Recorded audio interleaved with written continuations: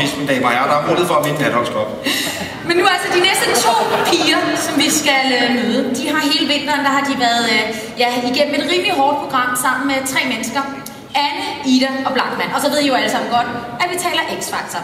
Desværre så sluttede rejsen jo for de to, vi skal møde i forrige fredag. Ja. Og øhm, der er jo aldrig noget, der er så skidt, at det ikke er godt for noget. Det er nemlig rigtig godt for os, fordi så kan de komme Præcis. og optræde her i dag. Mine damer og herrer, tag rigtig godt imod Anna og Lucinda med nummeret Lights.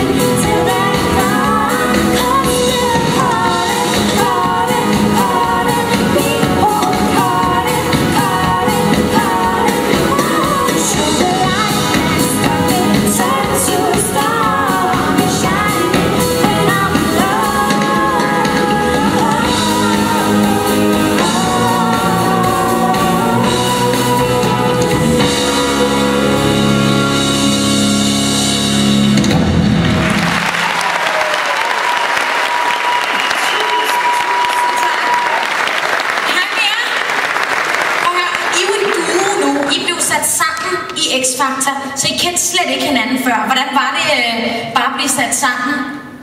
Altså i starten, der var jeg sådan lidt nervøs for det, fordi at jeg ville hellere gå solo, men så da jeg mødte Luciana, så var det noget helt andet. Var der sådan lidt audition på, at I skulle være i samme højde? det ved jeg faktisk ikke. Men hvad så nu? Føler du, at I er blevet rigtig, rigtig gode venner, eller vil du se jer som kollegaer? Vi er blevet helt vildt gode venner, og altså, hvordan, altså, jeg vil have for hele mit liv. Og prøv at høre, når I ikke laver X-Factor, så går I så i skole? Altså, vi har ikke gået i skole, mens vi har været med i X-Factor, så vi skal vende tilbage til skolerne her på mandag. Hvad skriver man så i sin meddelelsesbog? Ja.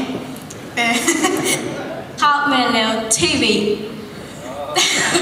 Og det bliver simpelthen godtaget.